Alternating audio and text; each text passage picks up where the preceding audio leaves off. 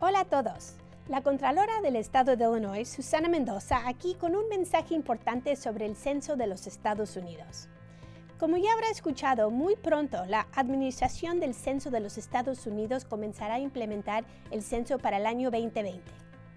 La razón por la que se realiza el censo cada 10 años es para asegurar que se cuente el número total de todas y cada una de las personas que viven en los Estados Unidos.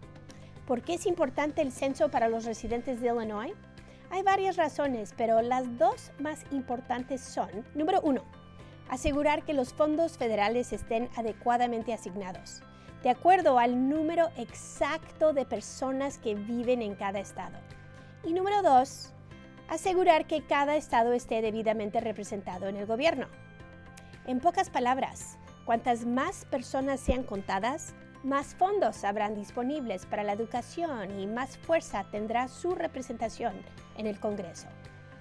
Desafortunadamente, el censo del 2020 se ha visto afectado por la controversia causada por la pregunta sobre la ciudadanía de las personas, propuesta por la administración del presidente Trump. Para ser completamente clara, esta pregunta no fue aprobada y no será parte del censo. Estoy aquí para decirle a usted que no tenga miedo de completar el censo, no tenga miedo. La información que usted proporciona no puede ser usada en su contra. De hecho, solo se puede usar para su beneficio.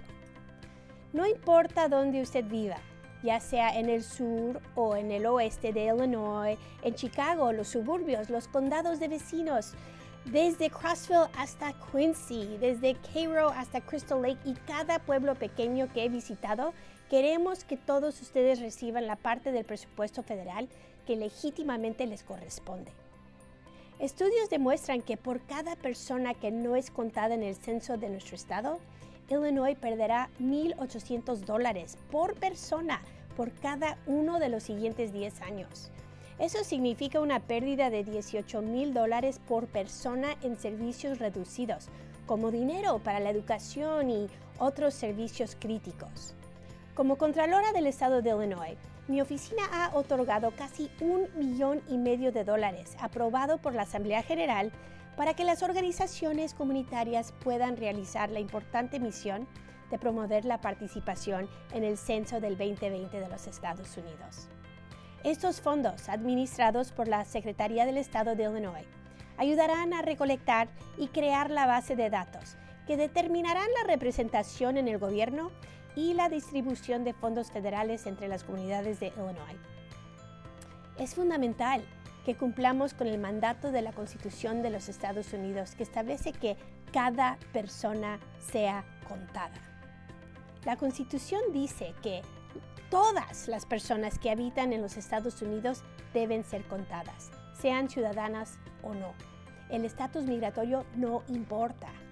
Eso quiere decir que todo ser humano, incluyendo inmigrantes, ciudadanos, bebés, ancianos y cualquier persona que respire, debe ser contado.